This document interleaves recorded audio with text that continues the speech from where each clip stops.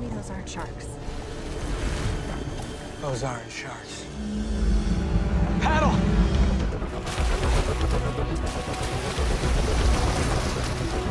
Yeah, sharks would be better.